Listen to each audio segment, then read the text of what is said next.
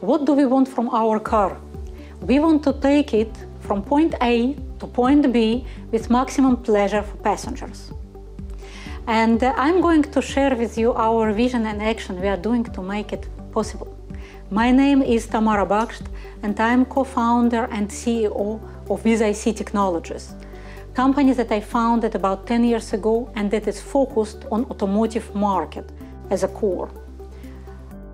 My personal dream had been always to be part of this exciting action to make the car better. So what is important for the car? All software additions, all software improvements, you heard so much about it today, are very important addition to core value. The main core value of the car is driving. And we want to make this function better. And when we think about car of the future, we think about electric car. Powerful, high performing, pollution-less, noiseless, which is personally important for me, and probably the most important, affordable electric car. And these electric cars are planned to be manufactured in millions and tens of millions of units between 2025 and 2030. All major car manufacturers promised to manufacture majority of their car park being electric. What the main problem of these cars? Manufacturing cost. The fact that manufacturing cost of electric cars are more expensive than combustion cars. Electric car has manufacturing cost 20 to 25 percent more expensive than combustion car. And as you can see on these numbers, majority of this cost is coming on battery. That's right, electric battery cost dropped dramatically during last decade and currently is, it is around $137 per kilowatt hour and it is planned to be as low as $100 per kilowatt hour. But if you look at numbers, you will see that this is not enough to make electric car comparable in cost to combustion car. So we need to invent new methods to offset high battery cost. What can we do in this? We can make our powertrain more efficient. Before going to details, to technical details, I want to stop for a second on the powertrain of electric car. Powertrain of electric car is much simpler than that of combustion car and essentially it is a big battery, electric motor that converts AC current to motion of the wheels and the part that connects between battery and electric motor this part called inverter and if you compare electric car to the body inverter is the heart of this body. And essentially inverter is responsible for total power of the car.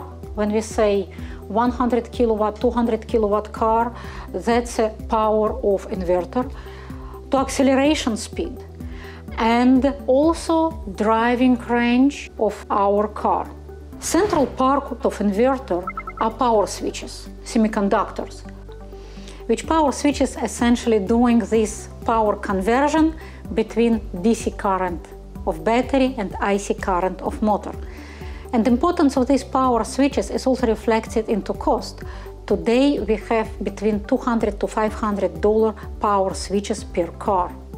Efficiency of powertrain is critical for driving range. Just think about it. If we make our inverter more efficient, we can use the same electricity stored in battery and drive longer range. Or we can have a same distance and make a battery smaller. So essentially efficient power inverter makes typical trade-off between longer distance and the battery cost simpler for designers, simpler for car makers. And this is a proven fact.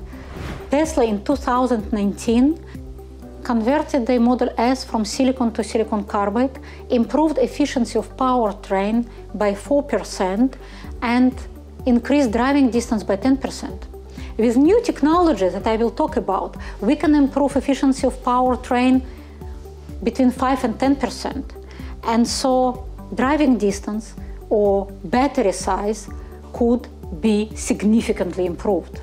In this case, we will save battery energy, we will make size of inverter and powertrain more compact and smaller, we will reduce heat dissipation, and we will bring 10% smaller battery or 20% longer range. To make all this possible, we need to reduce power losses. The best way to reduce power losses is to jump to new technology because power switches responsible for more than 90% of power losses in inverter. New technology that is coming to replace existing one is called gallium nitride. And let's look at numbers.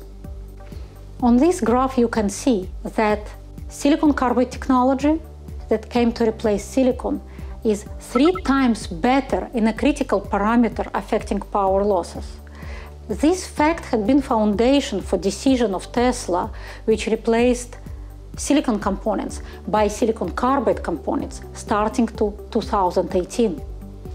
Gallium nitride products are five times better in this parameter compared to silicon carbide, and that's not all. Gallium nitride has also cost advantage because gallium nitride is about half of manufacturing cost and it is not only easier to manufacture, it's more affordable to manufacture. GaN today is manufactured by standard silicon factories. I want to pay your attention that these numbers are not academy numbers. These numbers had been measured on power switches products, comparable power switcher products, made by our company, by different companies in gallium nitride, by silicon carbide that is used by Tesla, and on silicon components which are used by 90% of electric cars today. The huge advantage of gallium nitride you can see is possible because gallium nitride belongs to family of wide bandgap semiconductors, so-called third generation of semiconductors, coming after silicon and silicon carbide. And the physical feature is that gallium nitride is able to withstand more than three orders of magnitude higher voltage and deliver more than two times higher current compared to silicon. People knew about these advantages for last 70 years, but it took time to make this technology commercially viable. Today, gallium nitride is successfully commercialized for radars, for consumer power delivery products. Understanding all advantages of gallium nitride, in our company we developed D-Power 3 GaN platform, direct drive D-Mode gallium nitride. And this platform is scaled both in voltage and in level of power. This platform is specially tuned to build high efficient inverter and to work in automotive industry. And it brings unprecedented combination of performance, reliability and cost. On this platform, we made modules which could be easily used in design of inverters. We made discrete devices which allows more flexibility for customers. And we made single die chips which have an unprecedented combination of lower DSO, high current and lowest in industry switching losses. On these products, we made designs which had been tested by us and by our customers both inverters and onboard chargers and evaluation boards and reference designs on 400 and 800 volt nodes. I think you are asking yourself if gallium nitride is mature enough to start to use it. The answer is yes. During the last two years, our devices had been extensively tested by global major OEM companies and tier one companies, including such a reputable company as ZF, to develop inverters and chargers on both 400 volt and 800 volt. And I'm confident that in 2030, the best cars, the best electric cars in all categories, low cost urban cars or high performing supercars will have gallium nitride devices inside.